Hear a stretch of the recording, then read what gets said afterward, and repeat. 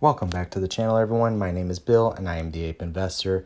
Today, I want to look at a couple different things. Uh, one, I do want to look at the chart on AMC, but more specifically, I want to talk about a couple of catalysts that are lining up for us in these meme stocks, and I want to talk about ISDA contracts.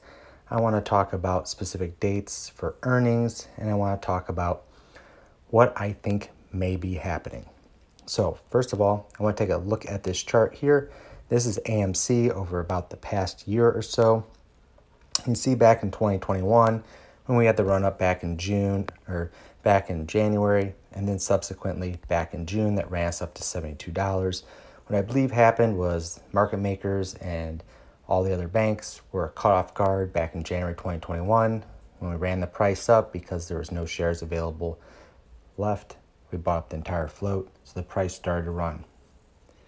Market makers went out, naked shorted us down, thought we would go away. They took out some ISDA contracts, which are private derivatives basically against AMC.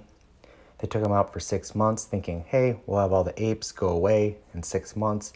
They're not going to buy back in because we're going to naked short it down or sell shares we don't have or hide these uh, married puts essentially. And so the price started going down, as you can see back in February. But apes held. So in June, when those ISDA contracts came due, they had to re-roll them. And what happened was subsequently they had to cover and then re-short.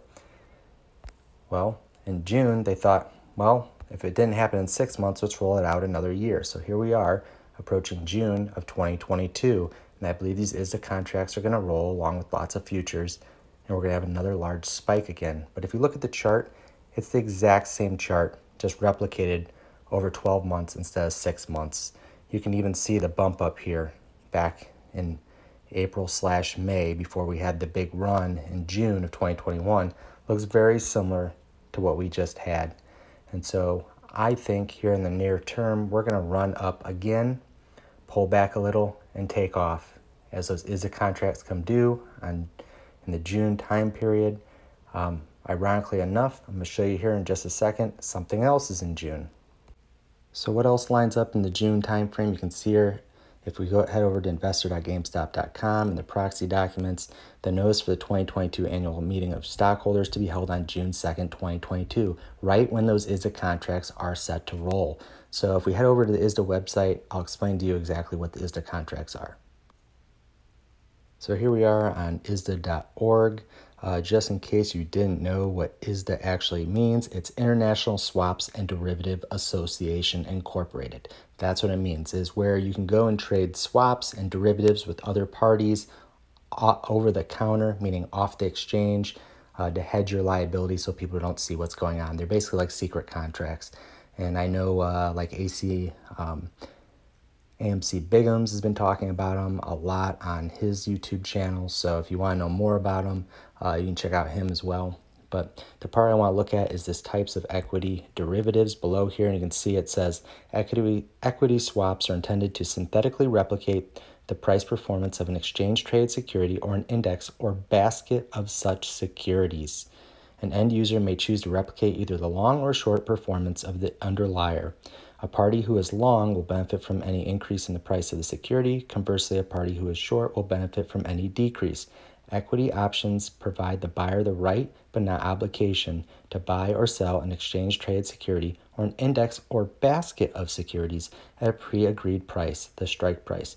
These may be physically settled, delivery of the underlying asset itself, or cash settled, payment to replicate the economics of settlement. The buyer will pay a premium to enter into the equity option. Option transactions may allow for exercise on a single agreed date or any time during the transaction. So I believe they're entering into these basket contracts, which include Bed Bath & Beyond, AMC, GME, Koss, BlackBerry, all those stocks that ran up together in the meme stock basket, I believe are rolled into this one big one, which is probably why Ryan Cohen went and bought into Bed Bath & Beyond. And I'm going to explain here in just a minute why I think he did that. So remember back when Ryan Cohen tweeted uh, that poop emoji for Boston Consulting Group. Well, if you look here, this is a release from 2019, April 22nd, 2019, and you'll see that uh, below it says the five newly appointed independent directors effective May 1, 2019. And if you look here, you can see um, right here, Harsha, uh, current senior advisor at Boston Consulting Group. So you can see right there, Boston Consulting Group has made its way into Bed Bath & Beyond, and they did the same thing at several other companies, including GameStop, and this is something that Ryan Cohen wants to stop. He wants to take control and kick these people out, which he thinks would then be good for the stock. So that is the reason why he moved on Bed Bath & Beyond. Also, it is part of one of the meme stocks within the basket that we believe is being shorted by market makers like Citadel and others. So that is why he moved. Now on to so now I go over to the SEC.gov and I pull up a GameStop document and I see that it says right here, RC Ventures will not, among other things, acquire beneficial ownership in or aggregate economic exposure to, directly or indirectly, more than 19.9% of the company's outstanding common stock. So if you know, he recently bought more stock, but he only bought up to, I believe, 12% of GameStop stock. He hinted at doing more, though, I believe, in this tweet I'm about to show you. So here it is over on Twitter on April 27th. Ryan Cohen tweeted, What should Apple make next? And he highlighted iToilet, even though iBidet had the check mark on it for having one, the highlighted one at the moment is iToilet, because below he wrote, iToilet is imperative to the future of humanity. Now, if you know anything about Ryan Cohen, and when he tweets, if he tweets something sexual in nature, typically the stock goes up. If he tweets something about a toilet or having to eat too much fruit, like having to go to the bathroom, anything that has to do with the bathroom, usually mean the stock is going to go down. And you can see here he says, in my office, and he puts a toilet. Typically that means something's going down. Now he equates this to Apple, which he owns shares in. Is he going to dump, aka toilet, Apple shares and buy up the remaining pieces of GameStop stock up to that 19.9% running up to that annual shareholders meeting. I think he's going to. And the reason why is because he's posted a lot of stuff about Moonman. They have the NFT coming out. The dividend is going to be voted on, which I believe will pass, and they'll get issued more shares. It's just more to push against that basket of swaps or derivatives that the market makers have taken out. If he can push up the price of GameStop going into that roll, it's going to hurt them even more. So that's why he said shorts are the what the dumb stormtroopers of the galaxy or something to that nature, alluding to May 4th, Star Wars Day, stormtroopers. I believe he may start buying those shares up on May 4th to push the price up. And then Astronaut Day being May 5th is when they'll release that NFT platform. So I think big news is coming. AMC also moved back the earnings to the 9th. I think they're going to play off that catalyst. I think Adam Aaron and, and Ryan Cohen know what's going on. Ryan Cohen seems to be able to tweet knowing whether or not the GameStop stock will go up or down. He is following that pattern that I showed you earlier in AMC, which is just elongated from half a year to two years out. So we're seeing the same sort of Wyckoff accumulation pattern going on where they're accumulating, running up the price, then accumulating, um, you know, so if you watch any of the videos, say Astro or Composite Man, aka Dave, um, he'll discuss Wyckoff accumulation. So it's something everybody should really check out, and it helps you identify key support levels within uh, this algorithm, what it's doing. So I'm to show you in just a minute. So if you head over to uh, Rico and you check out one of his videos, he wears these bandanas. He's wearing a red bandana on this one, so he's very easy to identify.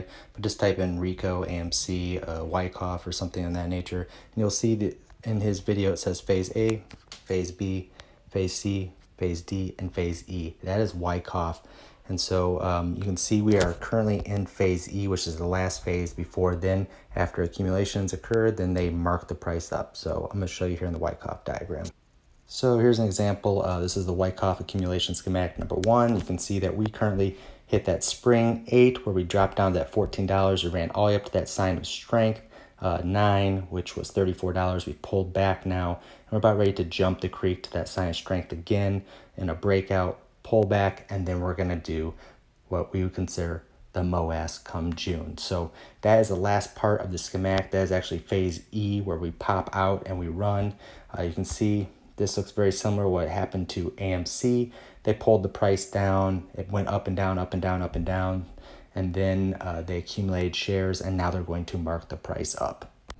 So here's a chart of AMC, and you can see the volume is drying up significantly after that run up uh, late March. Um, all of April, the volumes just started to drop, drop, drop, drop. And you would expect a large down volume on Friday with a huge drop in the market, but really we didn't have a whole lot of volume at all. So to me, that's a very bullish sign. And now something else that came out Friday, uh, which I'm super bullish about, I'm going to share with you. And finally, what I wanted to show all of you guys, this has uh, been a lot of people's radar from Friday, April 29th, is this DTCC haircut that came through. And so this is uh, collateral changes based on the different types of asset classes. You can see treasuries now, they're asking for an additional 2 to 12% depending on the maturity date on those. Uh, mortgage-backed securities, anything that's basically not AAA rated will now get a 100% haircut, meaning if you're holding mortgage-backed securities that aren't AAA rated, they're going to want all of that money back collateral-wise. Uh, the big kicker comes when you get further down here when it talks about uh, equities and municipal bonds. You can see municipal bonds, anything even triple A rated. Now they want 25% collateral against those. Uh, money market instruments, you can see the percentage. I'm going to put a link in the description below to this uh, DTCC um, collateral haircut. But you can see down here equity securities, common preferred listed on a U.S. National Securities Exchange, NASDAQ, or Canadian uh, Securities Exchange, 25% they want collateral for anything under uh, the price or $10 or more. Anything under $10 goes up exponentially from 30 to 50 to 100%. Um, you can see warrants also. Um, and rights and units uh, for mutual funds. They have those 50% and 100% depending on uh, the price of the stock, $5 uh, and above or $5 and below. Basically anything $5 and below, 100% collateral. So it goes on and on. There are all kinds of different haircuts in here according to the type of securities. So I urge you all to take a look at this, but it looks like there are going to be some margin calls coming on Monday when this kicks in. So that's it from the Ape Investor. Please like and share this video and subscribe for more videos like this.